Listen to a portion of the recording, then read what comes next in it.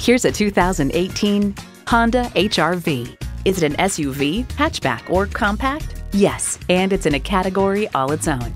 And get ready for an impressive combination of features. Continuously variable automatic transmission, manual tilting steering column, Bluetooth wireless audio streaming, manual telescoping steering column, Bluetooth hands-free link, external memory control, aluminum wheels, power mirrors, and i4 engine.